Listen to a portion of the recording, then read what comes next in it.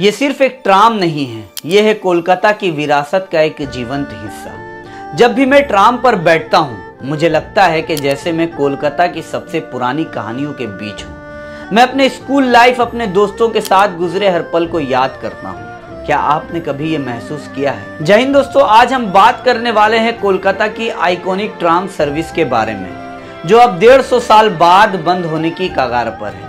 इस वीडियो में हम जानेंगे इस सर्विस की कहानी, इसकी अहमियत और इसका भविष्य।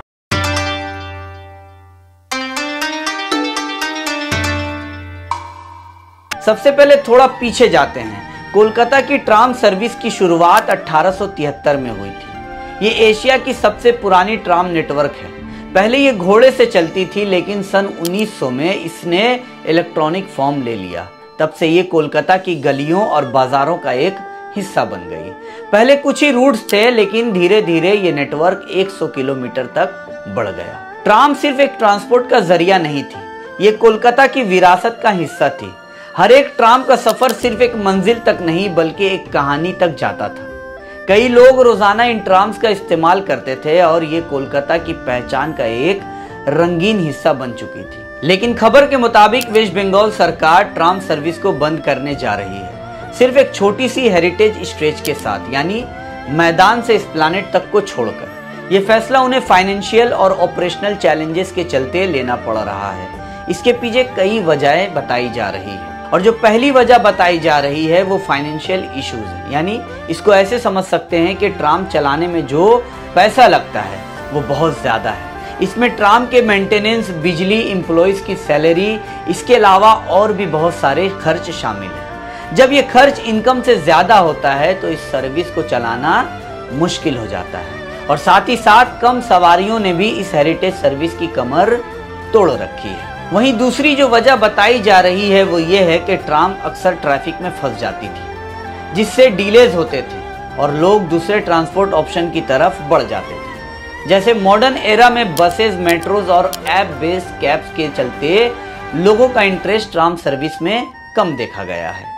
अब जान लेते हैं कि ट्राम बंद होने से नुकसान क्या हो सकते हैं। इसके बंद होने से कोलकाता की पहचान खत्म हो सकती है। ट्राम सर्विसेज़ से जुड़े कई लोगों की नौकरियाँ खत्म हो सकती हैं। इसके खत्म होना सिर्फ़ एक ट्रांसपोर्ट सर्विस का खत्म होना नहीं है। ये एक हेरिटेज और कम्युनिटी का खत्म होना है। कोलकाता के लोग इस ट्राम सर्विस को अपनी यादों में हमेशा बसाए रखेंगे। जब ये ट्राम गुजरती थी तो लगता था कि जैसे शहर की कहानियाँ सुनने को मिल रही है। वहीं ट्राम बंद होने से फ़ायदे क्या हो सकते हैं? ट्राम ट्रैक्स की जगह बस लेंस या फिर और बेहतर रोड्स बन सकते हैं। ट्राम के खत्म होने से बसेस और प्राइवेट व्हीकल्स के लिए ट्रैफ़िक फ्लो बेहतर हो सकता है।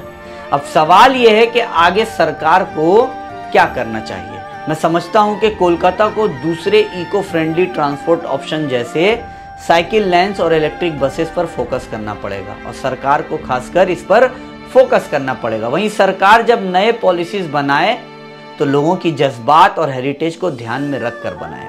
हाँ इलेक्ट्रिक ट्रांस पॉल्यूशन कम करती थी, जो सिटी के लिए अच्छा था। ये लो इनकम ग्रुप के लिए एक अफोर्डेबल ट्रांसपोर्ट ऑप्शन था।